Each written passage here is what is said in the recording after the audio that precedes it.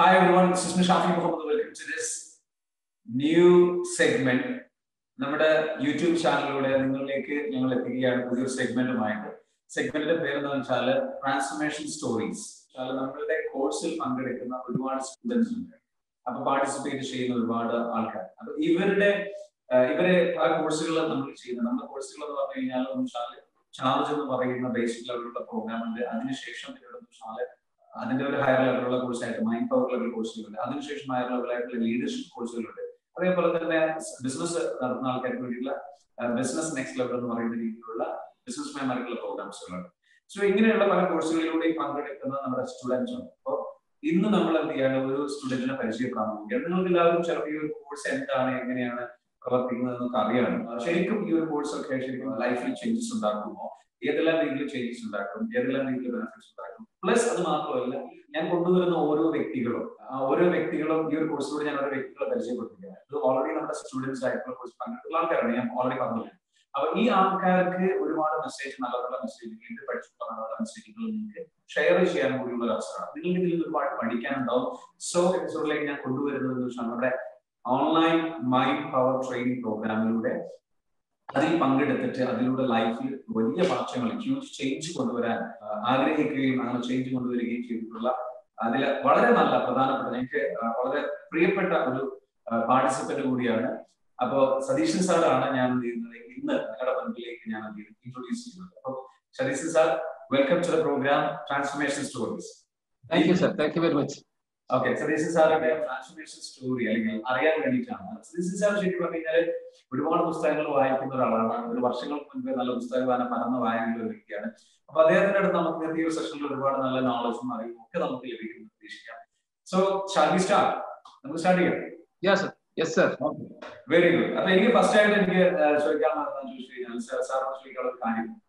ഏറ്റവും പ്രധാനപ്പെട്ട ഒരു കാര്യം എന്താ വെച്ചാൽ നിങ്ങളുടെ ജീവിതത്തിൽ അതായത് നിങ്ങളുടെ ഒരു ഓവറോൾ ഒരുപാട് കാര്യങ്ങളിൽ നിങ്ങൾ കുറെ വർഷങ്ങളായിട്ട് എക്സ്പീരിയൻസ് ഉള്ളതാണ് നിങ്ങൾ ബിസിനസ് ചെയ്യുമ്പോഴാണ് എത്രയും വർഷത്തെ എക്സ്പീരിയൻസ് കൂടി അപ്പൊ അങ്ങനെ ഒരു ലൈഫ് എക്സ്പീരിയൻസും അതേപോലെ തന്നെ ബിസിനസ്സും ഒക്കെ ചെയ്യുന്ന നിങ്ങളെ കുറിച്ച് നിങ്ങളുടെ ഒരു ചെറിയൊരു ബാക്ക്ഗ്രൗണ്ട് കോഴിക്കോട് വടകരയിൽ നിന്നാണ് നിങ്ങളുള്ളതെന്ന് അറിയാം. പക്ഷെ അതാണ് ചെറിയൊരു ബാക്ക്ഗ്രൗണ്ട് ജസ്റ്റ് നമ്മുടെ ഓഡിയൻസിന് വേണ്ടി ഒന്ന് പരിചയപ്പെടുത്താം. ഒന്ന് പറഞ്ഞോളൂ.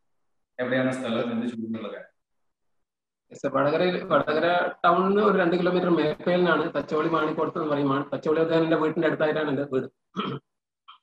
പതിനെട്ടാമത്തെ വയസ്സിൽ ജോലി തുടങ്ങിയ ഒരാളാണ്. അച്ഛൻ വയർലെസ് മെക്കാനിക് ആയിരുന്നു ആർമി. പതിനെട്ടാമത്തെ വയസ്സിലാണ് ജോലി ചെയ്യുന്നത്. അതെ അതെ. എന്തായിരുന്നു ജോലി? അച്ഛന്റെ അനിയൻ ബസ് ഉണ്ടായിരുന്നു. അപ്പൊ ബസ് കണ്ടക്ടർ ആയിട്ടാണ് തുടങ്ങിയത്. ബസ് കണ്ടക്ടർ ആയിട്ടാണ് തുടങ്ങിയിട്ടുള്ളത്. തുടങ്ങി. ഓക്കെ വെരി ഗുഡ് അങ്ങനെ ബസ് കണ്ടക്ടറായിട്ട് ജോലി ചെയ്തു പിന്നീട് എങ്ങനെയാണ് ബിസിനസ്സിലേക്ക് ഇറങ്ങിയത്? എങ്ങനെയാണ് ബിസിനസ്സിലേക്ക് ഇപ്പൊ എന്ത് ബിസിനസ് ചെയ്യുന്നത്? അതിനു മുമ്പേ ഞാൻ പഠിച്ചത് ഇലക്ട്രോണിക്സ് ആയിരുന്നു. അച്ഛൻ അച്ഛൻ വയർലെസ് മെക്കാനിക് ആയിരുന്നു ആർമിയിൽ അപ്പൊ അങ്ങനെ അതേ അച്ഛന് സർവീസ് സെന്റർ ഉണ്ടായിരുന്നു. അങ്ങനെ അതിൽ പഠിച്ചു. പക്ഷേ ഒരു സാഹചര്യം വന്നപ്പോ ഇപ്പുറത്തേക്ക് മാറേണ്ടി വന്നു. അങ്ങനെ ഒരു ആറു വർഷം ഞാൻ അതിന്റെ ജോലി ചെയ്തു. പിന്നെ അതിനുശേഷം ഞാൻ ചെന്നൈയിൽ ഇലക്ട്രോണിക്സിന്റെ അകത്ത് അന്ന് ടി വി വന്നിട്ട് ടി വി പഠിക്കാൻ പോയി. അവിടുന്ന് കുറച്ച് കഴിഞ്ഞപ്പോൾ ഞാൻ ഗൾഫിലേക്ക് പോയി. ഒരു ഏഴ് വർഷം ഗൾഫിൽ ടെക്നീഷ്യൻ ആയിട്ട് ഇലക്ട്രോണിക് സർവീസ് ആയിട്ട് എഞ്ചിനീയർ ആയിട്ട് വർക്ക് ചെയ്തു. പിന്നെ നാട്ടിലേക്ക് തിരിച്ചു വന്നു. വടകരയിൽ ഒരു ടി വിന്റെ സെയിൽസിന്റെ ഷോറൂം തുടങ്ങി. എട്ട് ടി വിന്റെ ഡീലർഷിപ്പ് ഉണ്ടായിരുന്നു. അങ്ങനെയാണ് ബിസിനസ്സിലേക്ക് വന്നത്. Okay okay very good alright ബിസിനസ്സിലേക്ക് അങ്ങനെ ബിസിനസ്സിലേക്ക് വന്നിട്ട് എത്ര വർഷമായി? വടകരയിലെ ഏറ്റവും നല്ല സർവീസ് സെന്റർ നമ്മുടേതായിരുന്നു. എത്ര എത്ര എത്ര വർഷമായി ബിസിനസ്സിലേക്ക് വന്നു ബിസിനസ് തേർട്ടി ഇയേഴ്സ് മുപ്പത്. ബിസിനസ്സിലാണ് ഉള്ളത്. എന്ത് ബിസിനസ് ആണെന്ന് ഒന്നുകൂടെ വിശദീകരിക്കാൻ പറ്റും ടി വി സെയിൽസും സർവീസും ആയിരുന്നു. അപ്പൊ അതിൽ ഒരുപാട് പ്രയാസങ്ങൾ ഉണ്ടായി കാരണം ടെക്നോളജി മാറുന്നതിനനുസരിച്ചുള്ള കാര്യങ്ങൾ. പിന്നെ സെയിൽസിന്റെ അകത്ത് വന്ന കോമ്പറ്റീഷൻ വലിയ സെയിൽസ് സെയിൽസ് ചെയ്തിട്ടും പക്ഷെ ഒരു കോടിയുടെ T V T V sale ചെയ്തിട്ട് ഒരു ലക്ഷം രൂപ ലാഭം കിട്ടി. അപ്പൊ അതിനേക്കാളേറെ ചെലവ് വന്നു. അങ്ങനെ ടി വി സെയിൽസ് നിർത്തിയത് പിന്നെ നമുക്ക് എനിക്ക് അതിന്റെ അടുത്ത് കുറച്ച് ആരോഗ്യ പ്രശ്നങ്ങൾ ഉണ്ടായി അസുഖം വന്നു ക്യാൻസർ ആയിരുന്നു. അപ്പൊ അതിന്റെയൊക്കെ കുറെ പ്രശ്നങ്ങൾ കാരണം പിന്നെ മുന്നോട്ടേക്ക് ഇത് കൊണ്ടുപോകാൻ പറ്റില്ല. കാഴ്ചയൊക്കെ പ്രശ്നം വരുന്നു. സർവീസ് വന്ന കാഴ്ച വളരെ നന്നായിട്ട് വേണം. അപ്പൊ അതിനൊക്കെ ബുദ്ധിമുട്ട് വന്നപ്പോൾ ഞാനത് മാറി ചിന്തിക്കാൻ തുടങ്ങി. കാരണം ഓരോ സമയത്തും ഓരോ ടെക്നോളജി സമയം മാറുന്ന നമ്മുടെ ബിസിനസ് ചിലപ്പോൾ നമ്മൾ മാറ്റേണ്ടി വരും. അപ്പൊ അത് നമ്മൾ നിറയെ കാണുന്നതാണ്. ഓരോ കാലത്തുള്ള ബിസിനസിന്റെ അകത്ത് വ്യത്യാസങ്ങളുണ്ട് അങ്ങനെ ഇപ്പൊ ഞാൻ ചെയ്യുന്നത് ഒരു ഡയറക്ട് മാർക്കറ്റിംഗ് കമ്പനിയിൽ ഞാൻ വർക്ക് ചെയ്യുന്നു. ഒരു മൂന്നര വർഷമായിട്ട് ഞാൻ ഡയറക്ട് മാർക്കറ്റിംഗ് കമ്പനിയിൽ വർക്ക് ചെയ്യുന്നു. അപ്പൊ അതിന് വേണ്ടത് നമുക്ക് ഓൾ ഓവർ ഇന്ത്യയിൽ നമുക്ക് ഭാഷയാണ് വേണ്ടത്. അപ്പൊ അതുകൊണ്ട് ഭാഷ കുറച്ച് ഒരു അഞ്ചാറ് ഭാഷ സംസാരിക്കാൻ പറ്റുന്നുള്ളതുകൊണ്ട് ഗൾഫിൽ പോയപ്പോൾ കുറച്ച് അറബി പഠിച്ചു ഹിന്ദി അറിയാം ഇംഗ്ലീഷ് അറിയാം മലയാളം അറിയാം തമിഴ് അറിയാം ഇങ്ങനെ കുറച്ച് ഭാഷകൾ കൈകാര്യം ചെയ്യാൻ പറ്റുന്നുണ്ട്. അതിന് ആവശ്യമായിട്ടുള്ള ചില സംഗതികൾ ഭാഷ എന്നുള്ളത് അതുള്ളത് കൊണ്ട് എവിടെ പോയാലും കുഴപ്പമില്ല എന്നുള്ള വിധത്തിലാണ്. അപ്പൊ അതുകൊണ്ട് ഓൾ ഓവർ ഇന്ത്യയിൽ ഒരു പത്ത് പ്രാവശ്യമെങ്കിലും കറങ്ങിയിട്ടുണ്ട്. ഒരുപാട് യാത്ര പരിചയം ഹിമാചലം? ഓക്കെ ഇത്രയും പരിചയമുള്ള ലൈഫ് എക്സ്പീരിയൻസിൽ എന്തുകൊണ്ടാണ് നമ്മുടെ ഷാപ്പിംഗ് സ്പേസിൽ കോഴ്സ് ചെയ്യണം എന്ന് ആഗ്രഹിച്ചത് ഒരുപാട് കാര്യങ്ങൾ ഈ ഡയറക്ട് മാർക്കറ്റുമായി ബന്ധപ്പെടുന്നതിൽ നമ്മൾ ഒരുപാട് കാര്യങ്ങൾ കോഴ്സ് ക്ലാസ് ഒക്കെ അറ്റൻഡ് ചെയ്യുന്ന സമയത്ത് അതിനകത്ത് ഓവറോൾ വളരെ വേഗായി വളരെ സർ ഒരു കാര്യം ചെയ്യാമോ നിങ്ങളുടെ ഓഡിയോ മിസ്സായി പോകുന്നു. നിങ്ങൾ വീഡിയോ ക്ലോസ് ചെയ്തോളൂ എന്നിട്ട് നീ നമുക്ക് വോയിസിൽ വരാം. വോയിസിൽ സംസാരിച്ചോളൂ അതിന്റെ ക്വസ്റ്റ്യൻ ഒന്നുകൂടെ ചോദിക്കാം. എന്തുകൊണ്ടാണ് സാറ് ഇങ്ങനെ ഒരു കോഴ്സ് ചെയ്യാനുള്ള കാരണം? ഡയറക്ട് മാർക്കറ്റുമായി ബന്ധപ്പെടുന്ന സമയത്ത് നമ്മൾ ഒരുപാട് ട്രെയിനിങ് പ്രോഗ്രാംസ് അറ്റൻഡ് ചെയ്യും. അതിലൊക്കെ ചിലപ്പോൾ ഒരു രണ്ടോ മൂന്നോ മണിക്കൂറിൽ കിട്ടുന്ന വളരെ ചെറിയ ചില സംഭവങ്ങളാണ്. നമ്മുടെ ഈ പവർ ഓഫ് സബ് കോൺഷ്യസ് മൈൻഡും ലോ ഓഫ് അട്രാക്ഷൻ ഒക്കെ അവിടെ ചെറുതായിട്ട് നമ്മൾ പഠിച്ചിട്ടുണ്ടായിരുന്നു പക്ഷെ അത് കൂടുതൽ വ്യക്തമായിട്ട് പഠിക്കണം എന്നുള്ള ആഗ്രഹം ഉണ്ടായിരുന്നു. അതുകൂടാതെ ജീവിതത്തിൽ വന്ന ഒരുപാട് അനുഭവങ്ങൾ നമുക്ക് തോന്നിയിട്ടുണ്ട്. പലപ്പോഴും അങ്ങനെ പറയാം നമുക്കിപ്പം വിശ്വസിക്കാൻ പറ്റാത്ത വിധത്തിലുള്ള ഒരുപാട് അനുഭവങ്ങൾ എനിക്ക് ജീവിതത്തിൽ ഉണ്ടായിട്ടുണ്ട്. ഞാൻ പറയും ഞാൻ ഈ ലോകത്തിലെ ഏറ്റവും ഭാഗ്യവാനായ മനുഷ്യനാണ്. കാരണം വഴിയിൽ വെച്ച് കണ്ടുമുട്ടിയ ആൾക്കാരൊക്കെ നമുക്ക് വളരെ കാലത്തിന് ശേഷം ഒരുപാട് ദൂരെ നിന്നൊക്കെ ജപ്പാനിലൊക്കെ നമ്മുടെ കാണാൻ തേടി വന്ന ആൾക്കാരുണ്ട്. അപ്പൊ ഞാനിങ്ങനെ വിചാരിക്കുന്നു ഓരോ ജീവിതത്തിൽ അനുഭവപ്പെടുന്നത് എന്തുകൊണ്ടാണ് ദൈവം നമുക്ക് ഇങ്ങനത്തെ അവസരങ്ങൾ തരുന്നത് വിചാരിക്കുന്നു. അപ്പൊ അതിനെപ്പറ്റി കൂടുതൽ പഠിക്കണം എന്ന് മനസ്സിലാക്കുന്ന ഒരു ആഗ്രഹം വന്നു. അതിനൊരു അവസരം കിട്ടിയപ്പോൾ ഞാൻ അതിനെ വേണ്ട വിധത്തിൽ ഉപയോഗപ്പെടുത്തിയെന്ന് ഞാൻ കരുതുന്നു. ഓക്കെ അപ്പൊ അത്ഭുതങ്ങൾ പഠിക്കാനുള്ള ഒരു ആഗ്രഹത്തിന് പുറത്താണ്. അല്ലെങ്കിൽ നിങ്ങളുടെ ജീവിതത്തിൽ സംഭവിച്ചിട്ടുള്ള പല അത്ഭുതങ്ങൾ നിങ്ങൾ ഒരുപാട് ഭാഗ്യവാനാണ് ഭാഗ്യവാൻ ഭാഗ്യം ചെയ്ത വ്യക്തിയാണ് പറയുന്നത്. കാരണം നിങ്ങളുടെ ജീവിതത്തിൽ ഒരുപാട് ദുരന്തങ്ങളും പ്രയാസങ്ങളും ഒക്കെ ഉണ്ടായ സമയത്ത് പലരും നിങ്ങളെ സഹായിക്കാൻ വരുന്നു അങ്ങനെ നിങ്ങളുടെ അടുത്ത ജീവിതത്തിന്റെ അടുത്ത ഘട്ടത്തിലേക്ക് നിങ്ങൾ പ്രവേശിക്കുന്നു സോ അങ്ങനെ ഒരുപാട് ഭാഗ്യം ലഭിച്ച ഒരു വ്യക്തി എന്നുള്ള നിലയ്ക്ക് ഇത് എന്തുകൊണ്ടാണ് സംഭവിക്കുന്നത്? അല്ലെങ്കിൽ ഇതിനെ കുറിച്ച് കൂടുതൽ അറിയാനുള്ള ഒരു താല്പര്യമുണ്ട്. അങ്ങനെ നിങ്ങൾ വായിക്കുകയും അറിയുകയും ചെയ്തപ്പോൾ നിങ്ങൾക്ക് മനസ്സിലായി മൈക്രോ പ്രോഗ്രാമിൽ ഇത്തരത്തിലുള്ള കാര്യങ്ങളെ കുറിച്ച് പഠിക്കാൻ സാധ്യതയുണ്ടെന്ന് മനസ്സിലാക്കിയിട്ടാണോ നിങ്ങൾ വന്നത്? തീർച്ചയായും പവർ ഓഫ് സബ് കോൺഷ്യസ് മൈൻഡിന്റെ കാര്യങ്ങൾ നമ്മൾ കുറച്ച് കാര്യങ്ങൾ പഠിച്ചിട്ടുണ്ടായിരുന്നു. പക്ഷെ അതിനൊന്ന് വിശദമായി പഠിക്കണം എന്നുള്ള ആഗ്രഹം എന്തായാലും മനസ്സിലുണ്ടായിരുന്നു. അതുകൊണ്ട് തന്നെയാണ് ഇതിനെപ്പറ്റി ഒന്ന് ഒന്നും കൂടി കിട്ടാനുള്ള ഒരു അവസരം എന്ന് കേട്ടപ്പോൾ ഞാൻ അതിന്റെ ഷാഫി സാറിന്റെ ഒരു ചാർജിന്റെ ക്ലാസ്സിൽ ഒരു ക്ലാസ്സിൽ ഞാൻ അതിന്റെ അകത്ത് വന്നിട്ടുണ്ടായിരുന്നു മുമ്പത്തെ ഒരു ക്ലാസ്സിൽ അപ്പൊ എനിക്ക് തോന്നി എന്തായാലും ഇതൊരു നല്ല കാര്യമായിരിക്കും ഒന്ന് മനസ്സിലാക്കാൻ പഠിക്കാം. പിന്നെ ഇപ്പൊ ഓൺലൈൻ ആണ് അതൊരു സൗകര്യം കൂടി വന്നപ്പോൾ എന്തായാലും അത് വേണ്ട വിധത്തിൽ ഉപയോഗപ്പെടുത്താമെന്ന് തോന്നി. ഓൺലൈൻ ആയതുകൊണ്ട് നിങ്ങൾക്ക് എവിടെ ഇരുന്നിട്ട് പഠിക്കാം അതുകൊണ്ട് ജോയിൻ ചെയ്തു. രണ്ടും കൽപ്പിച്ച് ജോയിൻ ചെയ്തു. തീർച്ചയായിട്ടും നിങ്ങളെ സംബന്ധിച്ചിടത്തോളം ഈ ഒരു പ്രോഗ്രാം എന്ന് പറയുന്നത് വെച്ചാൽ നിങ്ങൾ ചെയ്തു ചെയ്ത സമയത്ത് ഉണ്ടായിട്ടുള്ള നിങ്ങൾക്ക് ഇപ്പൊ സംഭവിച്ചിട്ടുള്ള എന്തെങ്കിലും മാറ്റങ്ങൾ വന്നിട്ടുണ്ടോ ജീവിത ശൈലിയിൽ? എന്തെങ്കിലും പ്രത്യേകിച്ച് മാറ്റങ്ങൾ ഉണ്ടായോ നിങ്ങൾക്ക് അത്ഭുതം എന്ന് തോന്നുന്ന രീതിയിലുള്ള മാറ്റങ്ങൾ എന്താണ്? ഒരുപാട് മാറ്റങ്ങൾ വന്നിട്ടുണ്ട്. ഇപ്പൊ ഞാൻ പറയുന്നതിനേക്കാളെ വീട്ടിൽ നിന്ന് ഭാര്യയൊക്കെ പറയും എനിക്ക് ഒരുപാട് മാറ്റങ്ങളുണ്ട്. ദേഷ്യമൊക്കെ ഒരുപാട് കുറഞ്ഞു പോയി. കാര്യങ്ങളിലൊക്കെ ഒരുപാട് മാറ്റം വന്നു. പിന്നെ എൽ ടി സി പ്രാക്ടീസ് ചെയ്യുന്നു. രാവിലെ അഞ്ചു മണിക്ക് എഴുന്നേക്കും. അത് വേറെ ആരും പറഞ്ഞിട്ടൊന്നുമില്ല. എല്ലാവരും വെക്കുന്ന കേൾക്കുന്ന സമയത്ത് നമ്മൾ ഉണരുന്നുണ്ട്. അതിനുശേഷം പിന്നെ എക്സ കുറച്ച് എക്സസൈസ് ചെയ്യും. പിന്നെ അതിനുശേഷം യോഗ ചെയ്യും. പിന്നെ മെഡിറ്റേഷൻ ചെയ്യും.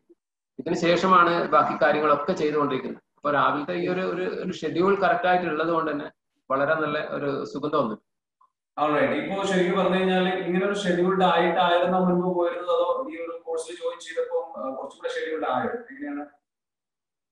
ഞാൻ പറഞ്ഞു ഷെഡ്യൂൾ കറക്റ്റ് ആയിട്ടുള്ള ഷെഡ്യൂൾ അനുസരിച്ച് നമ്മൾ വർക്ക് ചെയ്യുന്നത്. അപ്പൊ ഇത് മാത്രമല്ലല്ലോ ബാക്കി ബാക്കി ഒരുപാട് കാര്യങ്ങൾ നമ്മൾ അതിന്റെ കൂടെ പഠിക്കുന്നതുകൊണ്ട് എല്ലാം മൊത്തത്തിൽ നോക്കുന്ന സമയത്ത് വലിയ മാറ്റങ്ങളാണ്.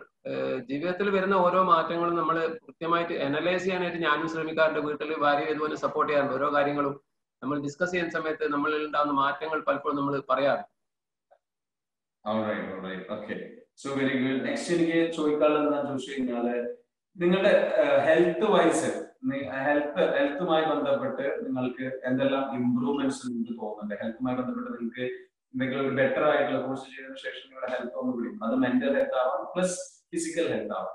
നിങ്ങൾ കുറച്ചുകൂടി ഒരു confidence കൂടിയിട്ടുണ്ടോ? What is your experience mental health of course സ്വാഭാവികമായിട്ടും ഞാൻ ഇതുപോലെ ഒരുപാട് അസുഖം വന്നപ്പോൾ ക്യാൻസർ ആയിരുന്നു എനിക്ക്. ആ സമയത്തൊക്കെ ഞാൻ മെന്റലി എനിക്ക് കുറച്ച് ഞാൻ കുറച്ച് ബോൾഡ് ആയിരുന്നു. കാരണം എനിക്ക് വലിയ പ്രശ്നമൊന്നും പേടിയോ അങ്ങനത്തെ സംഗതികളില്ല. കാരണം ആ വിശ്വാസം എന്ന് പറഞ്ഞ സംഗതിയിൽ കാത്തു സൂക്ഷിക്കുന്ന ഒരാളാണ് ആ ദൈവം എന്നുള്ള സംഗതി നമ്മുടെ കൂടെ ഉണ്ടെങ്കിൽ നമുക്ക് യാതൊരു കുഴപ്പമില്ല എന്നുള്ള ഒരു വിശ്വാസത്തോടെ. കാരണം ഞാൻ ഇങ്ങനെ ആസാമിലും അരുണാചലിലൊക്കെ ഒറ്റക്കാട്ട് പോയിക്കൊണ്ടിരുന്നത്. പലരും ചോദിക്കും നിങ്ങളുടെ കൂടെ ആരാണ്ടോ? ഞാൻ പറയും എന്റെ കൂടെ ദൈവം ഉണ്ടെന്ന് പറയും. അപ്പൊ ദൈവം ഉണ്ടെങ്കിൽ ഒന്നും പേടിക്കണ്ട എന്നുള്ള വിശ്വാസത്തിലാണ് ഞാൻ പോവാറ്.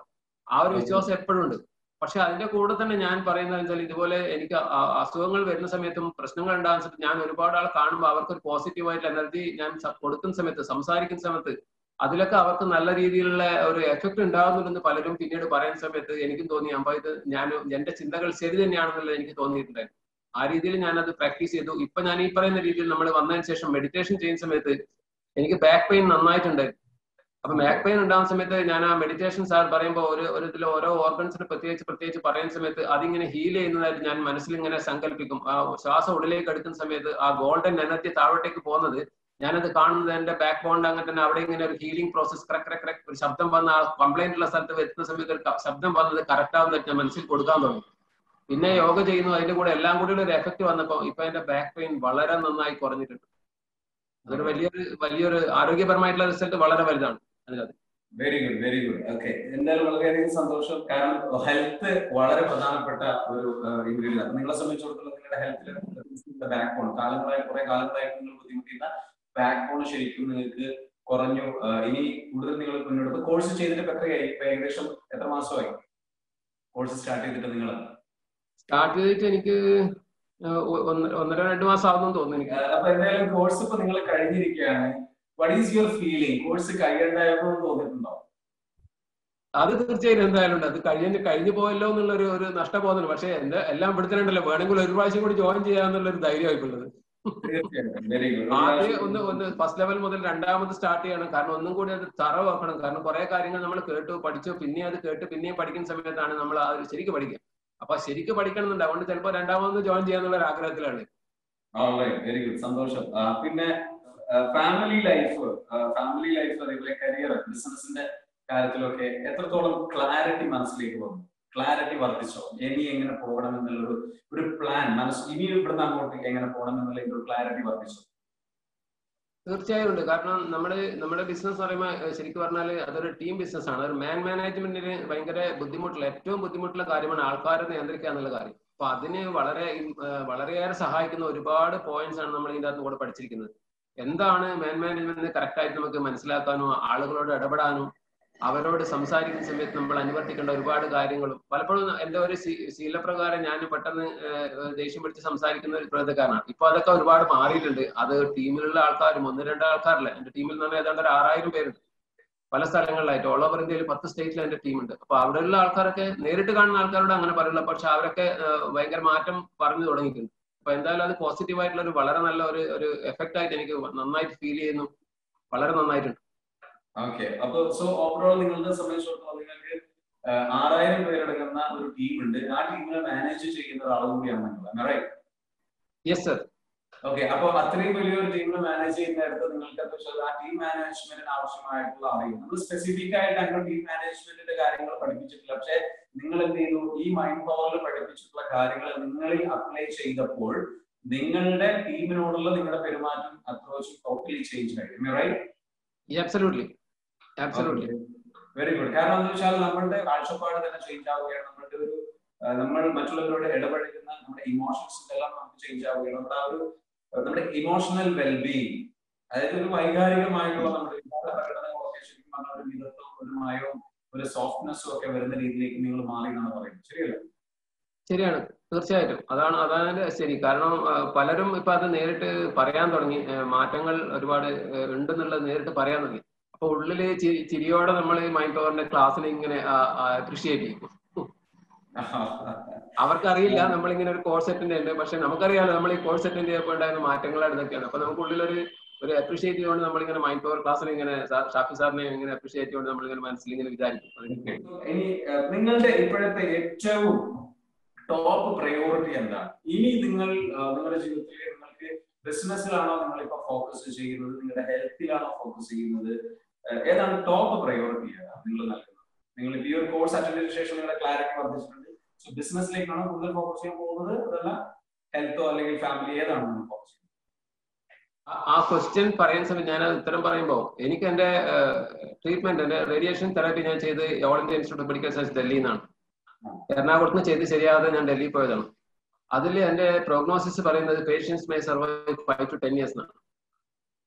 പത്ത് വർഷം കഴിഞ്ഞു അഞ്ചു വർഷം വീണ്ടും കഴിഞ്ഞു. പക്ഷെ ഇപ്പം ഫിസിക്കലി മെന്റലി എന്നെ കണ്ടു കഴിഞ്ഞാൽ അറുപത്തിരണ്ട് വയസ്സൊന്നും ആരും പറയാറില്ല. പലപ്പോഴും ഞാൻ ചെന്നൈയിലൊക്കെ എന്റെ ടീമിന്റെ വർക്കിനൊക്കെ പോകുന്ന സമയത്ത് ഞാൻ ചോദിച്ചു കഴിഞ്ഞാൽ എല്ലാവരും നാല്പത്തഞ്ച് അമ്പത് വയസ്സിന് പറയാറുണ്ട്. കാരണം ഈ ഒരു എഫക്ട് വരുന്നത് അത് മെന്റൽ പവർ തന്നെയാണ്. മനസ്സിന്റെ ആ ഒരു ശക്തി തന്നെയാണ് നമ്മളെ ഫിസിക്കലി ഇങ്ങനെയാക്കുന്നത്. മൂന്ന് വിധത്തിൽ പ്രായം പറയുന്നു. ഫിസിക്കലി മെന്റലി ക്രോണോളജിക്കലി ആ ക്രോണോളജിക്കലി ഏജ് എനിക്ക് സിക്സ്റ്റി ടു ആണ്. പക്ഷെ mentally I'm still thirty two physically എനിക്ക് അമ്പത് വയസ്സ് തോന്നുന്നു. ഈ ഒരു അവസ്ഥ എനിക്ക് അറിയാവുന്നതുകൊണ്ട് തന്നെ ഞാൻ ആ മനസ്സിനെ എപ്പോഴും യങ് ആയിട്ട് തന്നെ I'm sixty two years young എന്നാ പറയുന്നത്. I'm sixty two years old അല്ല. I'm sixty two years young അപ്പൊ ആ ഒരു മെന്റാലിറ്റി നമ്മൾ കീപ്പ് ചെയ്യുന്നതുകൊണ്ട് എനിക്ക് തന്നെ മനസ്സിലാവും നമ്മുടെ എനർജി ലെവലിൽ നിന്ന് യാതൊരു കുറവും വന്നിട്ടില്ല. ഇനിയിപ്പോ ഉള്ള സമയം എന്ന് പറഞ്ഞാൽ ശരിക്കും പറഞ്ഞാൽ എനിക്ക് തന്നിരിക്കുന്ന സമയമൊക്കെ കഴിഞ്ഞുകൊണ്ട് എനിക്ക് ഇനിയിപ്പോ പറഞ്ഞാൽ കറക്റ്റ് ആയിട്ട് വർക്ക് ചെയ്യാന്ന് എന്റെ മനസ്സിൽ കുറച്ച് ആഗ്രഹങ്ങൾ ബാക്കിയുള്ള സംഗതികളുണ്ട്. ഇപ്പൊ ഹിമാലയത്തിലൊക്കെ ഒരു പത്ത് തവണ എങ്കിലും ഞാൻ പോയിട്ടുണ്ട്. അപ്പൊ അതുപോലെ കുറച്ച് സ്ഥലങ്ങളും കൂടെ കണ്ടു തീർക്കാനുള്ള സ്ഥലങ്ങളുണ്ട്. ബാക്കി രണ്ട് പെൺകുട്ടികളാണ്. അവരുടെ കല്യാണം ഒന്ന് റെഡിയാക്കി വെച്ചിട്ട് അവരെ ഉത്തരവാദിത്തങ്ങൾ നമ്മൾ തീർന്ന ശേഷം ബാക്കി എന്തായാലും വളരെ ഹാപ്പി ആയിട്ട് തിരിച്ചു പോകാന്നുള്ള ഒരു ആ ഒരു കാൽക്കുലേഷൻ തന്നെയാണ്. ഒരുപാട് കാര്യങ്ങൾ തീർക്കാൻ കുറച്ച് കാര്യങ്ങൾ കൂടി ബാക്കി തീർക്കാനുണ്ട്. അത്രയാണ്. ബിസിനസിന്റെ അകത്ത് കുറച്ച് കാര്യങ്ങൾ ചെയ്യുന്ന ബിസിനസ്സും അങ്ങനെയുള്ള ഒരു ബിസിനസ്സാണ് കാരണം നമ്മളില്ലെങ്കിലും നമ്മളെ അഭാവത്തിൽ പോലും നമ്മുടെ വീട്ടിലേക്ക് വരുമാനം വരുന്ന ബിസിനസ് ആയിട്ട് ചെയ്തുകൊണ്ടിരിക്കും അവിടെ അതിനെപ്പറ്റിയും ടെൻഷൻ ഇല്ല. ഓക്കെ. നിങ്ങൾ നിലവിലെ ഹിമാലയത്തിലേക്ക് പത്ത് പ്രാവശ്യം പോയിട്ടുണ്ടെന്നാണ്. അതെ അതെ. പത്ത് പ്രാവശ്യം പോയിട്ടുണ്ട്. വെരി ഗുഡ് അപ്പൊ വലിയൊരു വലിയൊരു ട്രാവലറാണ് അതേപോലെ തന്നെ നന്നായിട്ട് യാത്ര ചെയ്യുന്ന ഒരു യാത്രികനാണ്.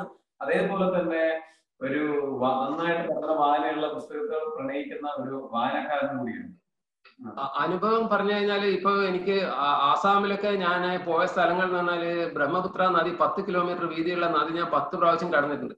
അവിടെ ഞാൻ താമസിച്ചുകൊണ്ടിരുന്ന ഒരാൾ അദ്ദേഹം ആദ്യം ഉൾഫ തീവ്രവാദികളുടെ ലീഡറായിരുന്നു ഇന്ന് അദ്ദേഹം അവിടെ സർബാൻ സോൺവാൾ എന്ന് പറഞ്ഞ മുഖ്യമന്ത്രിയുടെ വളരെ അടുത്ത ആളാണ്. Oil ഇന്ത്യന്റെ general secretary assistant general secretary ആണ് അങ്ങനെ ഒരുപാട് വലിയ വലിയ ലെവലിലുള്ള ആൾക്കാരായിട്ടുള്ള ബന്ധങ്ങൾ യാത്രകളിൽ കൂടെ കിട്ടിയ ബന്ധങ്ങളാണ്. ഒരുപാട് നല്ല നല്ല സുഹൃത്തുക്കളുണ്ട്. എന്തായാലും വളരെയധികം സന്തോഷം. മറ്റൊരു കാര്യമുള്ളതെന്ന് വെച്ച് കഴിഞ്ഞാൽ എനിക്ക് ചോദിക്കാറുള്ളത് നിങ്ങളുടെ ഇപ്പോഴത്തെ ടോപ്പ് പ്രയോറിറ്റീസിനെ കുറിച്ച് നിങ്ങൾ പറഞ്ഞു ഒരുപാട് കാര്യങ്ങൾ ചെയ്തു തീർക്കാറുണ്ട്. പക്ഷെ എന്നാലും ഞാൻ ചോദ്യം ഇതാണ്. അടുത്തൊരു ആറ് മാസത്തിനുള്ളിൽ ഓക്കെ നിങ്ങൾക്ക് അടുത്തൊരു ആറ് മാസം ഈ ടോപ്പ് പ്രയോറിറ്റി നമ്മൾ എടുക്കുമ്പോൾ അടുത്ത മൂന്ന് മാസം മുതൽ ആറ് മാസം വരെ. ഇതിനുള്ളിൽ നിങ്ങൾ ഏറ്റവും കൂടുതൽ പ്രാധാന്യം കൊടുക്കുന്ന ഒരു കാര്യം എന്താണ് ഐ മീൻ ഞാൻ പറയുന്നത് വെച്ചാൽ തീർച്ചയായിട്ടും നമ്മൾ ഫാമിലിക്ക് പ്രാധാന്യം കൊടുക്കുന്നുണ്ട് നമ്മുടെ ഹെൽത്തിന് പ്രാധാന്യം കൊടുക്കുന്നുണ്ട് അല്ലെങ്കിൽ നമ്മുടെ ഓരോ കാര്യത്തിനും പ്രാധാന്യം എന്നാലും കുറച്ചും കൂടെ നമ്മൾ ഈ ഒരു മൂന്ന് മാസത്തിനുള്ളിൽ ആറ് മാസത്തിനുള്ളിൽ നമ്മൾ ഉണ്ടാക്കാൻ ആഗ്രഹിക്കുന്ന റിസൾട്ട് ഏത് മേഖലയിലാണ്? ഹെൽത്തിലാണോ അതല്ല ഫാമിലിയിലാണോ അതല്ല ബിസിനസ്സിലാണോ ഹെൽത്തിൽ ഇനിയിപ്പം വിശേഷിച്ച് കാര്യങ്ങൾ എനിക്ക് ചെയ്യാനായിട്ടില്ല. ഇപ്പൊ ഉള്ള ആരോഗ്യം വലിയ കുഴപ്പമൊന്നുമില്ല. എനിക്ക് പെർഫെക്റ്റ് ഓൾറൈറ്റ് വലിയ കുഴപ്പമൊന്നും എനിക്കില്ല.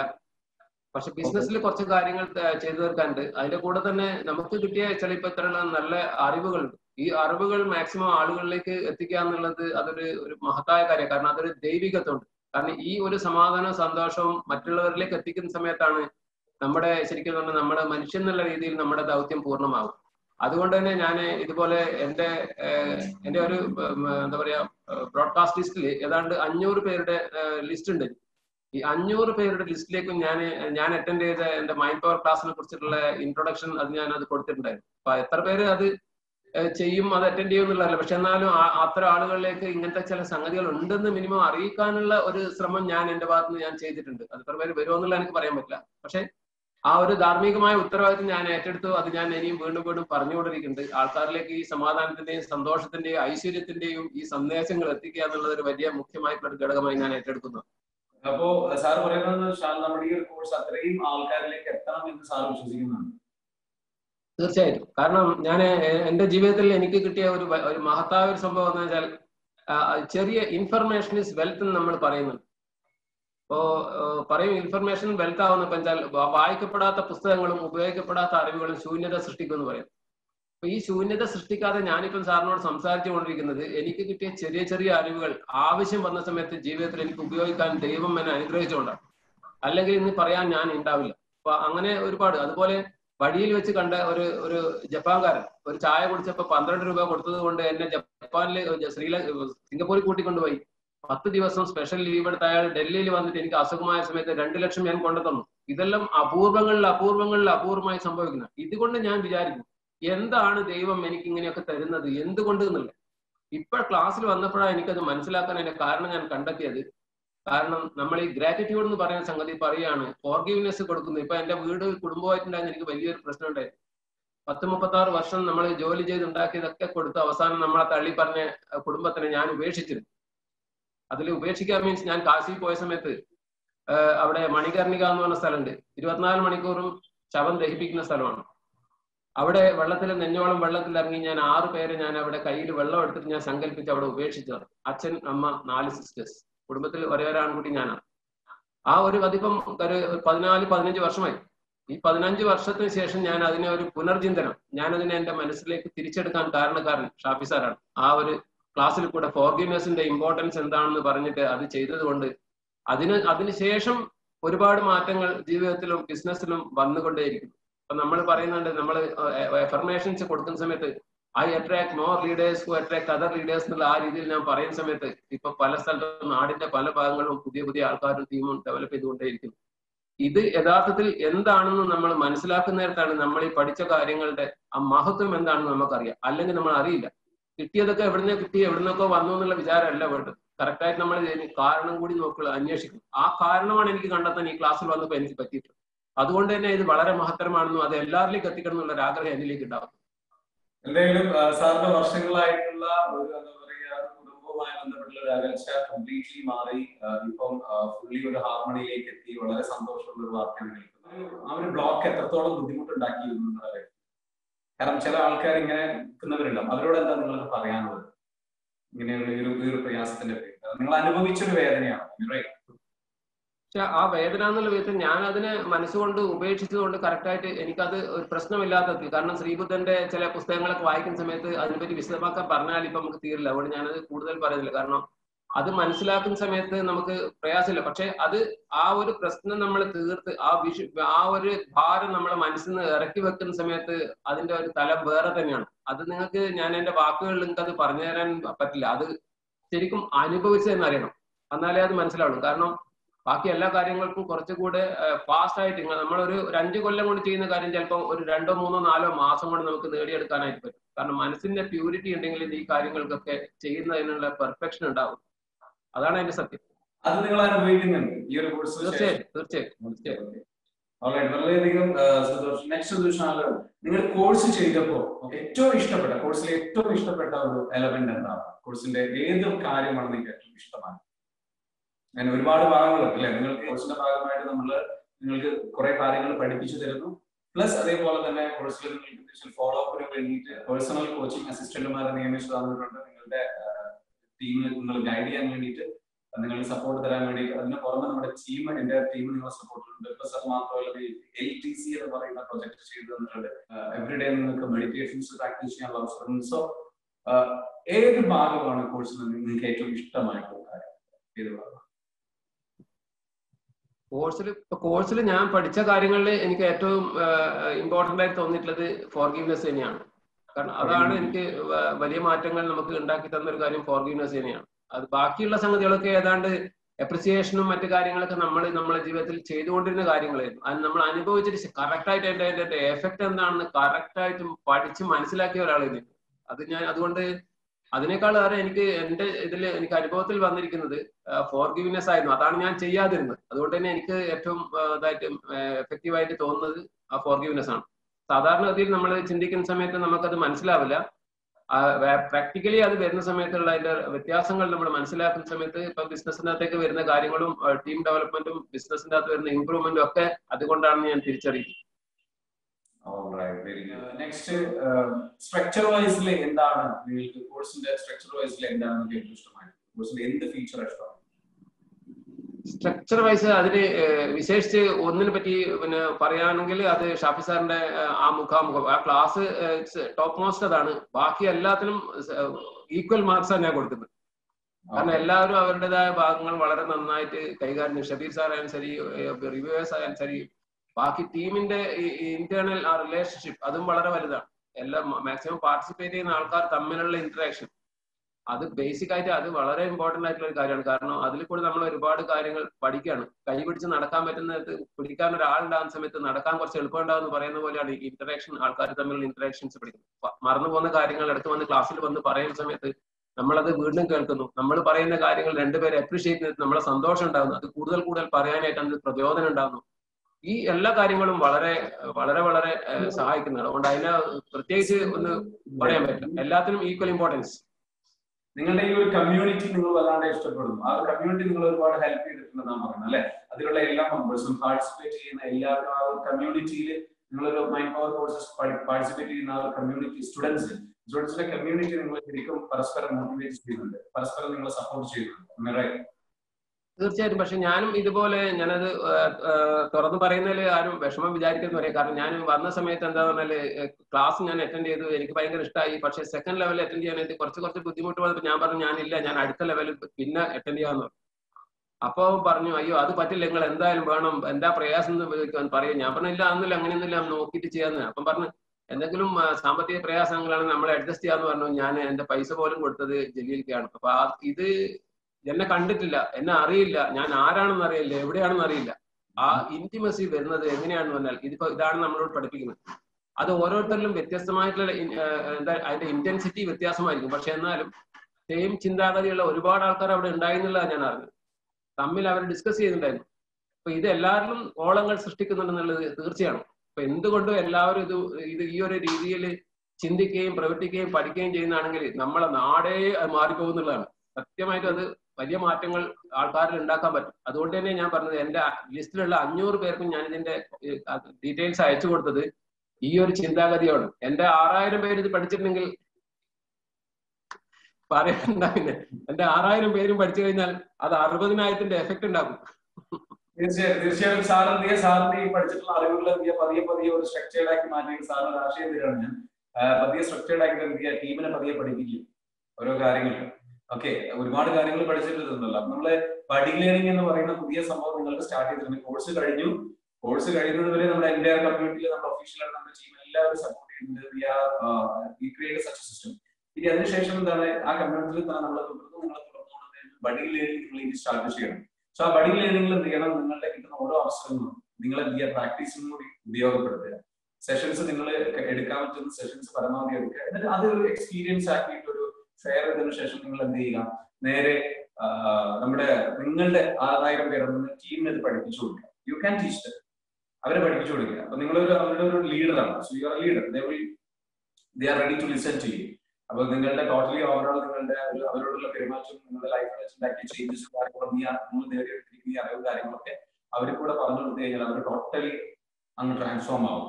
അപ്പൊ ട്രാൻസ്ഫോം ആകുമ്പോൾ സ്വാഭാവികമായിട്ടും ഓവറോൾ നിങ്ങളുടെ ഗ്രോത്ത് എന്ന് വെച്ചാൽ ഹ്യൂജ് ലെവലിലേക്ക് പോകും അതൊരു ഒരു ലീഡർ ലീഡറെ ക്രിയേറ്റ് ചെയ്യുക എന്ന് പറയുന്നത് വളരെ പ്രധാനപ്പെട്ട ഒരു കാര്യമാണ്. True leader creates more leaders ഒരു മോർ ലീഡേഴ്സിനെയാണ് ക്രിയേറ്റ് ചെയ്യുന്നത് ഫോളോവേഴ്സിനെയാണ് so we need you need more leaders അപ്പൊ അത്തരത്തിലുള്ള മോർ ലീഡേഴ്സിനെ നിങ്ങൾ ക്രിയേറ്റ് ചെയ്യുമ്പോൾ ആ ലീഡേഴ്സിനെ ക്രിയേറ്റ് ചെയ്യുന്ന ലീഡർ ആകുമ്പോൾ king maker true king make more അതായത് അത്ര നമ്മളൊരു കിങ് ആവുന്നതിന് പകരം കിങ് മേക്കർ ആവണം. ഒരുപാട് കിങ്സിനെ നമുക്ക് ക്രിയേറ്റ് ചെയ്യാം.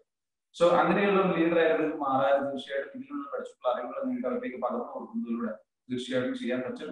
ഇനി അടുത്ത എനിക്ക് ക്വസ്റ്റിനിലേക്ക് പോകാം. ഫാമിലി മെമ്പേഴ്സിന്റെ ഒരു റിയാക്ഷൻ എന്താണ്? നിങ്ങളുടെ ഫ്രണ്ട്സിന്റെ ഫാമിലി മെമ്പേഴ്സിന്റെ ഒരു റിയാക്ഷൻ എന്താണ്? എസ്പെഷ്യലി നിങ്ങളുടെ വൈഫ് വൈഫിന്റെ റിയാക്ഷൻ ഈ ഒരു കോഴ്സിന് എന്തെങ്കിലും സ്പെസിഫിക് ആയിട്ടുള്ള റിയാക്ഷൻസ് ആണ് എന്തെങ്കിലും തോന്നിയിട്ടുണ്ടോ?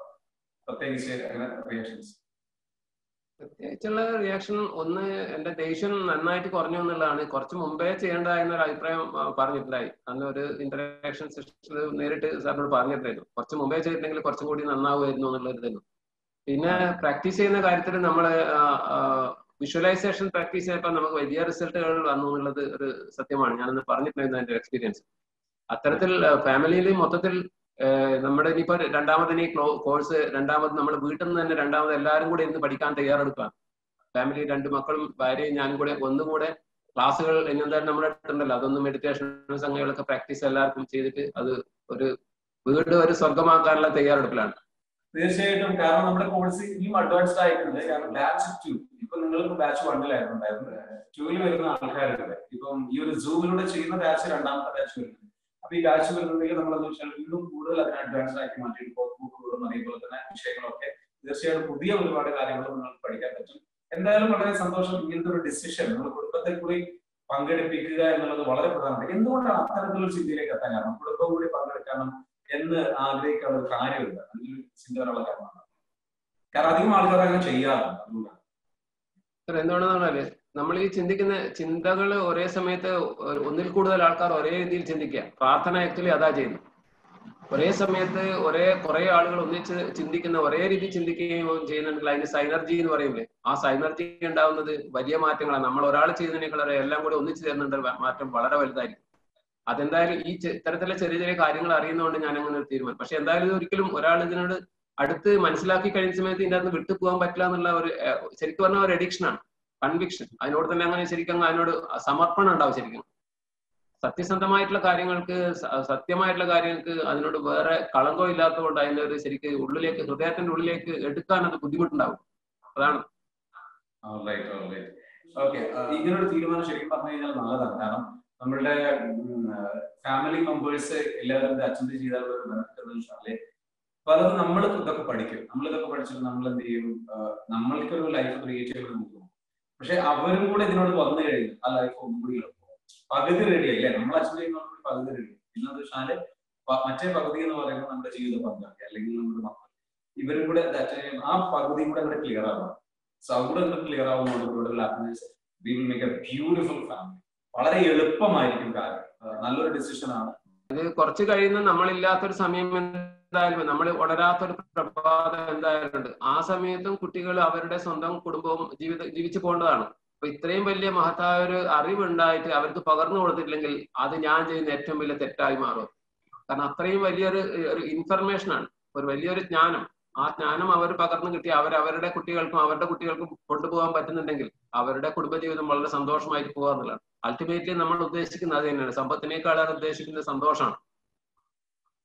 ഓക്കെ നിങ്ങൾ പറയുന്നത് മക്കൾക്ക് നൽകാൻ കഴിയുന്ന ഏറ്റവും വലിയ സമ്മാനമാണ് ഈ പറഞ്ഞിരിക്കുന്ന അറിവ് തീർച്ചയായിട്ടും തീർച്ചയായിട്ടും തീർച്ചയായിട്ടും. അതിൽ സാന്ദർഭികമായിട്ട് ഞാൻ ചെയ്യുന്ന സമയത്ത് അവിടെ റേഡിയേഷൻ തെറാപ്പി റൂമിൽ രണ്ടു പേര് മാത്രമേ അഡ്മിറ്റ് ചെയ്യുള്ളൂ. ഫസ്റ്റ് ഡേ ഉണ്ടായിരുന്ന ഒരു കുറച്ച് പ്രായമുള്ള ഒരു മേഡം മരിച്ചുപോയി. രണ്ടാമത്തെ ദിവസം ഒരു പത്താമ്പത്തഞ്ച് വയസ്സുള്ള ഒരു ലേഡിയാ വന്നു. അപ്പൊ അവർ ഞാൻ ചോദിച്ചു നിങ്ങൾ എവിടെ നിന്നാണ് ഞാൻ ചമ്പ എന്നാണ്. ചമ്പ എവിടെയാ? അതെനിക്കറിയില്ല. ബസ്സിൽ വരണം ട്രെയിനിൽ വരണം എന്നൊക്കെ പറഞ്ഞു. ഞാൻ ചമ്പ ഹിമാചൽ പ്രദേശിൽ മേലെയാണ്. അപ്പൊ എന്താ പറ്റിയത്? എനിക്കിങ്ങനെ തൊണ്ടയിൽ മുഴ വന്നു. അത് ഓപ്പറേഷൻ ചെയ്തു. കുറച്ച് കഴിഞ്ഞപ്പോ വീണ്ടും വന്നു. പിന്നെയും ഓപ്പറേഷൻ ചെയ്തു. ഇപ്പൊ മൂന്നാമതും വന്നു. ഇതാ സുഖക്കേടെന്ന് ഇവർക്ക് അറിയാൻ തുടങ്ങി. ഞാൻ എന്തിനാ കറിയുന്ന ആരാ വീട്ടിൽ? ഭർത്താവുണ്ട് ജോലി എന്ത് ഇവിടെ പ്രായമായി. നാല് കുട്ടികളുണ്ടായിരുന്നു. ഒരു കുട്ടി മരിച്ചു പോയി. ആൺകുട്ടി വീണിട്ട് മരിച്ചുപോയി. ഇളയ പെൺകുട്ടി പനി പിടിച്ച് മരിച്ചു. അപ്പൊ ഞാൻ പറഞ്ഞു പനി പിടിച്ച് മരിച്ചു പോയ കുട്ടി ആകപ്പാടെ ഒന്നുള്ളത് പെൺകുട്ടി മരിച്ചപ്പോ സങ്കടമായിരുന്നു. പക്ഷെ ഇപ്പൊ സമാധാനിക്കാൻ വകയാണ്. പ്രസവം നോക്കണ്ട കുട്ടികളെ നോക്കണ്ട വേറെ പ്രശ്നമൊന്നുമില്ലല്ലോ. ഭർത്താവ് സമയത്തും അങ്ങ് പോകും ആൺകുട്ടികൾ അവരെ പാട് നോക്കും. പിന്നെ നിങ്ങൾ തന്നെ ടെൻഷൻ അടിക്കുന്നത്? ശരിയല്ലേ? ഞാൻ ഇനിയിപ്പോ ഈ അസുഖം ഒന്നും വന്നിട്ട് അമ്പത് കൊല്ലം ജീവിക്കോ? ഇരുപത്തഞ്ച് പത്ത് കൊല്ലം പത്ത് കൊല്ലം ഞാൻ പത്ത് കൊല്ലം തീരുന്ന ദിവസം നാളെ ആണെങ്കിലോ അപ്പൊ അവരോട് അറിയാണ്ട് ചിരിച്ചു പോയി. ശരിയല്ലേ? ടെൻഷൻ അടിക്കണം. അപ്പൊ എന്റെ കയ്യിൽ കാശുണ്ടായിരുന്നു ഒരു ഇരുന്നൂറ്റമ്പത് രൂപ. കാരണം അതിനകത്ത് പൈസ പുറത്തേക്ക് പോകാൻ പറ്റില്ല. അതിലൊരു ഇരുന്നൂറ് രൂപ ഞാൻ അവർക്ക് എടുത്തു കൊടുത്തു. അപ്പൊ അവരെന്നോട് പറഞ്ഞു പൈസ വേണ്ട ഞാൻ വെച്ചാൽ അതെന്താ? ജോ പൈസ സെ നെഹി മിൽത്താഹെ എന്ന് പറഞ്ഞു. പൈസ കൊടുത്താൽ കിട്ടാത്തത് കിട്ടി എന്ന് പറഞ്ഞു. സമാധാനം. എന്റെ തലയെത്തിയായിരുന്നു അതൊക്കെ പോയി. അപ്പൊ ഈ പൈസ കൊടുത്താൽ കിട്ടാത്ത സാധനമാണ് ഒരു ലക്ഷം കൊടുത്തിട്ട് എനിക്കൊരു അഞ്ച് ഗ്രാം സമാധാനം എന്താന്ന് പറഞ്ഞാൽ കിട്ടില്ല. അപ്പൊ ഈ അൾട്ടിമേറ്റ്ലി നമ്മൾ മനസ്സിന്റെ വേണ്ട സമാധാനം സന്തോഷമാണ് നമ്മളെ സമ്പത്ത് എന്നുള്ളത് നമ്മൾ തിരിച്ചറിയും. പൈസ കണ്ടുകൊണ്ട് മാത്രം ചിലപ്പോൾ സന്തോഷം ഉണ്ടാവില്ല. ഒരുപാട് കോടീശ്വരന്മാർ പൈസ ഉണ്ടായിട്ടും ആത്മഹത്യ ചെയ്ത ആൾക്കാർ നമുക്കറിയാം. അപ്പൊ അൾട്ടിമേറ്റ്ലി നമ്മൾ കണ്ടെത്തുന്നത് മനസ്സിന്റെ സമാധാനവും ഉള്ള ഉള്ളത് വെച്ച് നമുക്ക് സമാധാനമായി ജീവിക്കാനുള്ള സന്തോഷത്തോടെ ജീവിക്കാനുള്ള ഒരു മനസ്സാണ് നമ്മൾ ഉണ്ടാക്കിയിട്ടുണ്ടെന്നുള്ള തിരിച്ചറിവ് എനിക്കുണ്ടായി അപ്പൊ എന്തായാലും തീർച്ചയായിട്ടും ഇത്തരത്തിലുള്ള എന്താ പറയുക അറിവ് അറിവ് നമുക്ക് മറ്റുള്ളവർക്ക് നൽകാൻ കഴിയുന്ന ഏറ്റവും വലിയ സമ്മാനമാണ് സമ്പത്തിനെക്കാട്ടും വലുതെന്നുള്ള മെസ്സേജ് സതീഷ് സാറോട് നമുക്ക് മനസ്സിലാക്കാൻ പറ്റി. എത്രത്തോളം സോഷ്യൽ മീഡിയ അഡിക്ഷൻ ഉണ്ടായിരുന്നു എന്ന് ജനറൽ ആയിട്ട് ക്വസ്റ്റ്യൻ ചോദിക്കുകയാണ്. നിങ്ങളിപ്പോൾ ഈ പ്രായമുള്ള ഒരാൾ ചിലപ്പോൾ ഉണ്ടാവില്ല. പക്ഷെ എന്നാൽ സോഷ്യൽ മീഡിയ അഡിക്ഷൻ ഉണ്ടായിരുന്നു. സോഷ്യൽ മീഡിയ അഡിക്ഷൻ പല വിധത്തിലാകാം. ഫോർ എക്സാമ്പിൾ നല്ല നല്ല യൂട്യൂബ് വീഡിയോസ് മോട്ടിവേഷണൽ വീഡിയോസ് തന്നെ സ്ഥിരമായി കാണുന്ന സ്വഭാവം ചിലർക്കുണ്ടാവും അത് വർക്കിൽ ശ്രദ്ധ മാറ്റുന്നു. അതല്ലെങ്കിൽ വേറെ എന്തെങ്കിലും രീതിയിലുള്ള സോഷ്യൽ മീഡിയ ഉപയോഗം എങ്ങനെ ഉണ്ടായിരുന്നുള്ളത് കൺട്രോൾഡ് ആയിട്ടുള്ള അങ്ങനെ ഒരു അവസ്ഥ ഉണ്ടായിരുന്നു. എന്താണ് എക്സ്പീരിയൻസ് സോഷ്യൽ മീഡിയ യൂസ് എന്നുള്ളതിൽ ഇപ്പം നമ്മൾ വർക്ക് നമ്മുടെ ജോലിയായിട്ട് ബന്ധപ്പെട്ട് സോഷ്യൽ മീഡിയ നമ്മൾ നന്നായിട്ട് ഉപയോഗിക്കുന്നുണ്ട്. ആ രീതിയിൽ സോഷ്യൽ മീഡിയന്റെ വർക്ക് നമുക്ക് എപ്പോഴും അതിനകത്ത് ഇൻവോൾവ്മെന്റ് ആവശ്യമായിട്ട് വരുന്നത് കാരണം പല സ്ഥലങ്ങളിലുള്ള ആൾക്കാരായിട്ട് കമ്മ്യൂണിക്കേറ്റ് ചെയ്യുന്നത് സോഷ്യൽ മീഡിയ വഴിയാണ്. അതല്ലാത്ത രീതിയിൽ കുറച്ചുണ്ടായിരുന്നു. ചിലപ്പോൾ ഫേസ്ബുക്ക് ഒക്കെ വന്ന് കുറച്ച് കഴിഞ്ഞപ്പോൾ കുറച്ച് സമയത്തൊക്കെ ഉണ്ടായിരുന്നു. പക്ഷെ പല കാരണങ്ങൾ കൊണ്ട് നമുക്കറിയാം അത് നല്ലതല്ല എന്ന് തിരിച്ചറിയുന്ന സമയത്ത് നമ്മൾ കുറച്ച് പിന്നോട്ട് വന്നിട്ട് നിന്നിട്ടുണ്ട്. അത് ശരിയാണ്. അത് കറക്റ്റ് ഒരു ശരിയായ രീതിയിലുള്ള ഒരു ഒരു മനസ്സുകൊണ്ട് നമ്മൾ നിയന്ത്രിച്ചിട്ടില്ലെങ്കിൽ അതിനെ പിടിച്ചാൽ കിട്ടില്ല. ആ രീതിയിലേക്ക് പോയി പോകും. ഇപ്പൊ പക്ഷെ അത് വീണ്ടും ഇപ്പം നമുക്ക് എൽ ടി സി വന്നപ്പോൾ അതിന്റെ അകത്തും വ്യത്യാസങ്ങൾ പത്ത് മണിക്കുമ്പോൾ ചെയ്യണമെന്നുള്ളതുകൊണ്ട് ചില സമയത്ത് പറ്റില്ല. കാരണം നമുക്ക് ഇവിടെ മെസ്സേജസ് അയക്കാനും കൊടുക്കാനും ഫോർവേഡ് ചെയ്യണം ആ സോഷ്യൽ മീഡിയ എന്നുള്ളതിൽ നമ്മൾ വർക്കുമായിട്ട് ബന്ധപ്പെടുന്നതിൽ ഇപ്പൊ കൂടുതൽ വർക്ക് ചെയ്യും അല്ലാത്ത വിധത്തിൽ ഇപ്പൊ വളരെ കുറവായി കുറച്ചിട്ടുണ്ട്. ആവശ്യമില്ലാത്ത മെസ്സേജുകളായി അയക്കാറില്ല. അയക്കാറില്ല അനാവശ്യമായ സോഷ്യൽ മീഡിയ ഉപയോഗം ഈ എൽ ടി സി എന്ന് പറയുന്ന സംഭവം കംപ്ലീറ്റ്ലി നിന്നു വർക്കുമായി ബന്ധപ്പെട്ടുള്ള കാര്യങ്ങൾ മാത്രമേ ചെയ്യുന്നുള്ളൂ. സെൽഫ് ഡിസിപ്ലിൻ എത്ര കണ്ട് ഇപ്പോ കുറച്ചുകൂടി ഇംപ്രൂവ്ഡ് ആയോ? സെൽഫ് ഡിസിപ്ലിൻ ഓരോ കാര്യങ്ങളും ഇന്ന സമയത്ത് ചെയ്യാനുള്ള രീതിയിലേക്ക് ഒരു ഇംപ്രൂവ്മെന്റ് വന്നോ? കുറച്ചുകൂടെ. കുറച്ചുകൂടെ ഇംപ്രൂവ്മെന്റ് തീർച്ചയായിട്ടും ഇംപ്രൂവ്മെന്റ്സ് ഓവറോൾ ഇംപ്രൂവ്മെന്റ് എല്ലാ കാര്യങ്ങളിലും ഉണ്ട് പക്ഷെ സെൽഫ് ഡിസിപ്ലിൻ പൊതുവെ ചില കാര്യങ്ങളിൽ നമുക്ക് സെൽഫ് ഡിസിപ്ലിൻ ഉണ്ട്.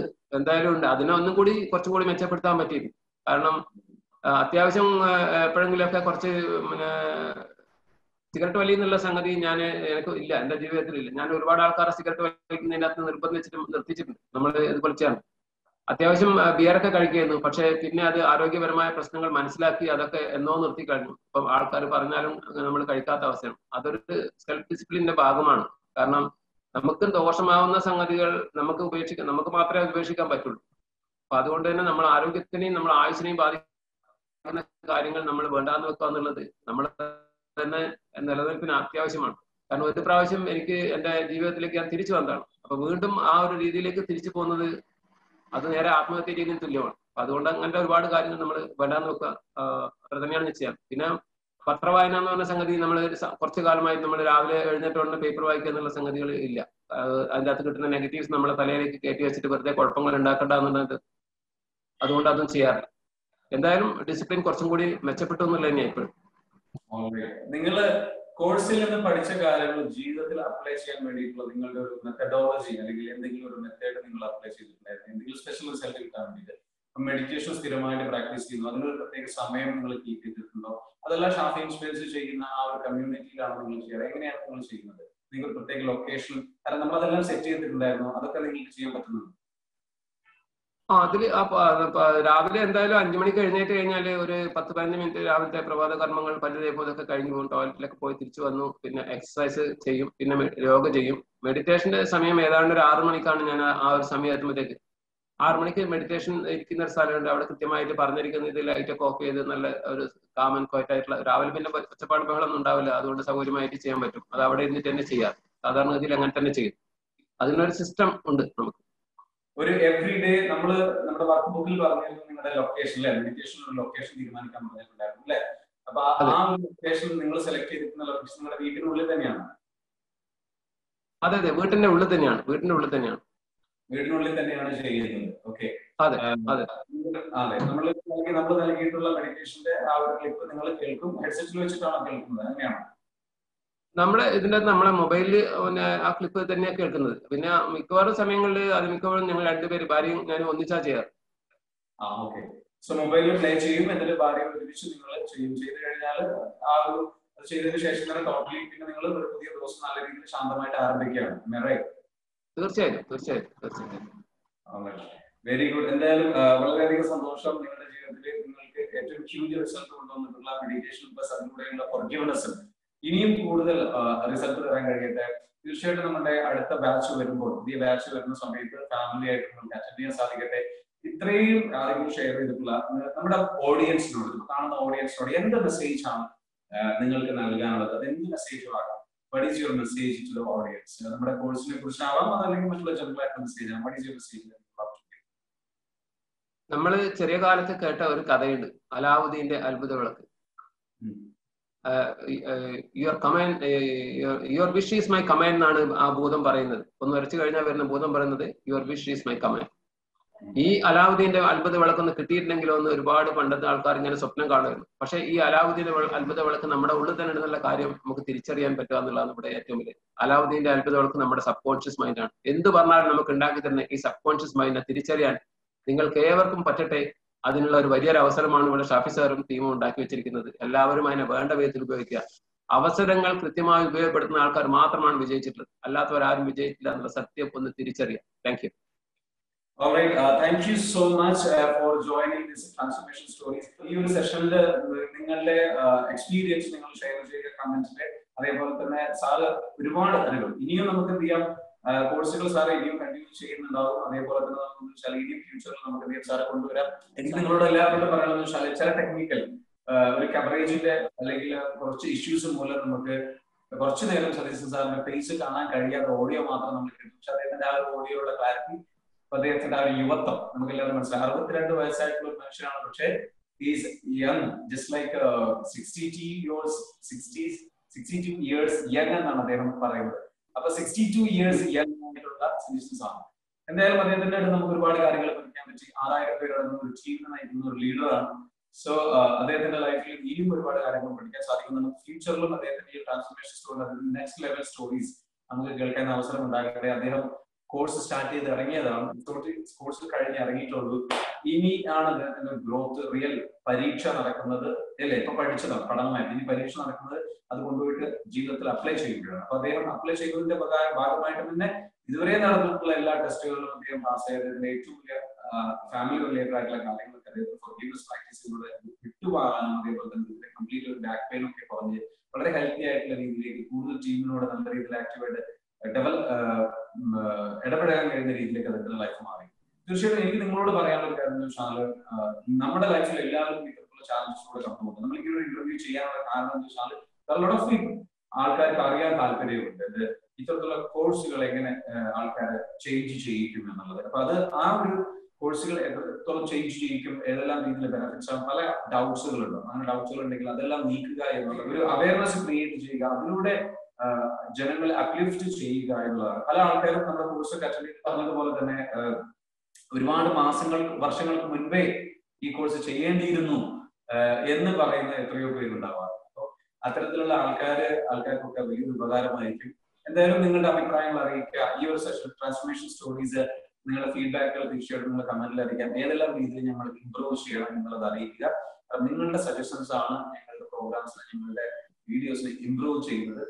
ഡെഫിനറ്റ്ലി വിൽ ഇംപ്രൂവ് സജഷൻസ് ആണ് എന്തോ ഒരു മെസ്സേജ് കൂടെ പറയാനുണ്ട്. ആ മെസ്സേജ് കൂടെ നമുക്ക് കേൾക്കാം. എന്താണ് സാർ? പറഞ്ഞു ആ കുറച്ച് മുമ്പേ ചെയ്യണ്ടായിരുന്നു ഭാര്യ പറയുന്നു കല്യാണം കഴിച്ച് ഇരുപത്തഞ്ച് വർഷമായി അന്നേ ഇത് ചെയ്തിട്ടുണ്ടായിരുന്നെങ്കിൽ ജീവിതം മറ്റൊരു ലെവലിലേക്ക് പോവാനൊന്നും പറയണ്ടേ ഓക്കെ ഒരുപാട് ഉഷാറായിട്ട് ഉഷാറായിട്ട് എൻജോയ് ചെയ്തിട്ടില്ലേ? ശരിക്കും പറഞ്ഞാൽ സാർ പറയുന്നത് വെച്ചാൽ മാരേജ് ചെയ്യാൻ പോകുന്ന ആൾക്കാരൊക്കെ പ്രത്യേകിച്ച് മാരേജിന് മുമ്പേ ഈ ക്ലാസ് അറ്റൻഡ് ചെയ്യുകയാണെന്നുണ്ടെങ്കിൽ അവരുടെ ലൈഫ് പാർട്ണറുമായിട്ടുള്ള ജീവിതം വളരെ സുന്ദരമാക്കാൻ പറ്റും എന്നുള്ളതാണ് ഒരു ഒരു പ്രീ മാരിറ്റൽ കോഴ്സ് എന്നുള്ള വിധത്തിൽ ഇത് എല്ലാവർക്കും സജസ്റ്റ് ചെയ്യേണ്ടതാണ്. സജസ്റ്റ് ചെയ്യാവുന്ന കോഴ്സാണ് നമ്മുടെ ഈ ഒരു കോഴ്സിൽ ആഗ്രഹിക്കുന്ന എല്ലാവർക്കും ഇനിയും അതിനുള്ള അവസരം ഉണ്ടാവട്ടെ. സാമ്പത്തികം ഒന്നും ഒരു വിഷയമല്ല. നിങ്ങൾ നന്മ ചെയ്തുകൊണ്ടിരിക്കണം. മനസ്സിൽ ഞാൻ നിങ്ങളോട് പറയാൻ ഓഡിയൻസ് ആരെങ്കിലും ഈ സെഷൻ കേട്ടിട്ട് ഈ കോഴ്സിൽ പങ്കെടുക്കണം എന്ന് ആഗ്രഹമുണ്ടെങ്കിൽ നിങ്ങളുടെ ചിലപ്പോൾ സാമ്പത്തികമായിട്ട് അത് വലിയൊരു ടീം നടത്തുന്ന പ്രോഗ്രാമാണ് സാറിന് അത് അറിയാം അല്ലെ? ഒരു വലിയൊരു ടീമാണ് ഞാൻ ഒറ്റയ്ക്കല്ല so there is a big team is there as a instructor ഞാൻ ഉണ്ടെങ്കിലും നിങ്ങൾക്ക് പേഴ്സണൽ കോച്ചിങ് അസിസ്റ്റൻസിനൊക്കെ ഒരുപാട് ആൾക്കാരുണ്ട്. അപ്പൊ ഒരു ടീം നടത്തുന്ന പ്രോഗ്രാം ആയതുകൊണ്ട് തന്നെ ആ ടീമിനെ എല്ലാം നമുക്ക് മെയിന്റെയിൻ ചെയ്യണം. So some expense for that ആ എക്സ്പെൻസിന്റെ ഭാഗമായിട്ട് പിന്നെ കോഴ്സിന് ഫീയും ഇൻവെസ്റ്റ്മെന്റ് വരും. പക്ഷെ സാറിന് എന്താണ് തോന്നുന്നത്? കോഴ്സിന് സാർ ഇൻവെസ്റ്റ് ചെയ്തിട്ടുള്ള ഇൻവെസ്റ്റ്മെന്റ് ഡസ് ഇറ്റ് വർത്ത് വർത്തായിട്ട് തോന്നിയിട്ടുണ്ടോ? അതിന്റെ വെറുത്ത് നോക്കിയാൽ ഇപ്പൊ കാശ് അത് പോരാ ശരിക്കും പറഞ്ഞു. എന്താണ്? അതിന്റെ ഒരു റിസൾട്ട് നോക്കിയാൽ ഈ ഈ പാസ് എന്ന് പറഞ്ഞാൽ അത് കാശ് പോരാന്ന് ഞാൻ പറയാം. പക്ഷെ അത് എല്ലാവർക്കും എത്താനായിട്ട് അത് എന്തായാലും നല്ലത് തന്നെ അത് ഇതൊരു വലിയ പൈസയല്ല. ഒരിക്കലും ഇതൊരു വലിയ പൈസയായിട്ട് തോന്നിയിട്ടില്ല. എന്തായാലും വളരെയധികം സന്തോഷമുണ്ട് സാറിന്റെ ഫീഡ്ബാക്ക് കേട്ടതിൽ. മറ്റ് എല്ലാവരോടും പറയാനുള്ള കാര്യം നിങ്ങൾക്ക് ഈ സാമ്പത്തികമായിട്ട് ബുദ്ധിമുട്ടുണ്ടെങ്കിലും ഡോൺ വെറി അബൌട്ട് മനസ്സിൽ എന്ത് ചെയ്യാം? ആഗ്രഹം കൊടുക്കുക ഇതിനോട് കൊടുക്കാനുള്ള ഇതിനോടുള്ള ഇഷ്ടം ആ ഒരു താല്പര്യം അപാരമായ ആഗ്രഹം എന്ത് ചെയ്യുക മനസ്സിൽ കൊടുത്തുകൊണ്ടേയിരിക്കുക അതന്നെ കൊടുക്കുക. മനസ്സിൽ നിങ്ങൾ തന്നെ കാണുക ഈ ഒരു കോഴ്സിൽ പങ്കെടുക്കുന്നത് എന്നിട്ട് നിങ്ങളുടെ ലൈഫ് ടോട്ടലി ചേഞ്ച് ആവുന്നത് നിങ്ങൾ മനസ്സിൽ എന്ത് ചെയ്യുക വിഷ്വലൈസ് ചെയ്യുക. ഇത് ഞങ്ങളുടെ നമ്മുടെ ഈ ഒരു കോഴ്സിൽ പഠിപ്പിക്കുന്ന ഒരു പവർഫുൾ മെത്തേഡാണ് ഇത് തന്നെ ആ ആഗ്രഹം തന്നെ മനസ്സിൽ കൊണ്ടുവരക്കുക ട്വന്റി ഫോർ സെവൻ ഇത് തന്നെ കൊടുക്കുക. ഒരു ദിവസം ഏറ്റവും കൂടുതൽ ചിന്തകളിൽ ഏറ്റവും പ്രധാനപ്പെട്ട ചിന്ത ഇത് തന്നെ കൊടുക്കൊണ്ടിരിക്കുക വടവിൽ ലാപ്പൻ ലെറ്റ്സി നിങ്ങൾ വിശ്വാസത്തോടു കൂടി നിങ്ങൾ അത് കൊടുത്തു നോക്കൂ. ഒരു നിങ്ങൾ നിങ്ങളത് കൊടുത്ത ഒരു ഇരുപത്തൊന്ന് ദിവസം കഴിയുമ്പോൾ ഇരുപത്തൊന്ന് ദിവസം അത്ഭുതങ്ങൾ സംഭവിക്കുന്നത് കാണാം. സതീശൻ സാർ സതീശൻ സാറിന്റെ ഒരു സ്റ്റോറി ഇവിടെ ഷെയർ ചെയ്തു. ഒരു ആഗ്രഹം അദ്ദേഹത്തിന് ഉണ്ടായിരുന്നു പക്ഷെ കുറിച്ച് ചെയ്യാൻ കഴിയുമോ കഴിയില്ല എന്നുള്ള ആശങ്കയുണ്ടായിരുന്നു ആ ഉണ്ടായിരുന്നതിലേക്ക് അത്ഭുതം എന്നുള്ള രൂപത്തിലേക്ക് ഒരാൾ അദ്ദേഹത്തെ എവിടെന്നറിയില്ല അദ്ദേഹത്തിന് സപ്പോർട്ടിന് ഒരാൾ അവിടെ വന്നിരുന്നത്. ആ ഒരു സമയം പറ്റിക്കുറിച്ചായിരുന്നു സോ അങ്ങനെ അത് സംഭവിച്ചു എന്നുള്ളതാണ്. തീർച്ചയായിട്ടും ഇത്തരത്തിലുള്ള രീതിയിലുള്ള അത്ഭുതങ്ങൾ നിങ്ങളുടെ ജീവിതത്തിൽ ഇനിയും കാണാൻ ഇരിക്കുന്നതേ ഉള്ളൂ. അതിനുള്ള ഒരു അവസ്ഥയിലേക്ക് നമുക്ക് എല്ലാവർക്കും പോകാൻ കഴിയില്ല നിങ്ങളുടെ ഫീഡ്ബാക്കുകൾ ഷെയർ ചെയ്യുക. ഈ ഒരു സ്റ്റോറി ട്രാൻസ്ഫോർമേഷൻ സ്റ്റോറി നിങ്ങൾക്ക് എത്തുണ്ടാവും എന്തായാലും സന്തോഷം സതീശൻ സാർ നിങ്ങളുടെ വിലപ്പെട്ട സമയം നമ്മുടെ കൂടെ ഇപ്പൊ എന്തെങ്കിലും ഒരു ഇന്ററാക്ഷന് തന്നതിന് thank you so much and you are so happy നമ്മുടെ ഓഡിയൻസിന് ഒരു വലിയൊരു ഉപകാരപ്പെടുന്ന ഒരു കാര്യമായിരിക്കും. ഇനിയും നമുക്ക് ഇന്ററാക്ട് ചെയ്യാൻ അവസരം ഉണ്ടാവട്ടെ. Thank you thank you so much നമുക്ക് വൈൻഡപ്പ് ചെയ്യാം. Thank you thank you you welcome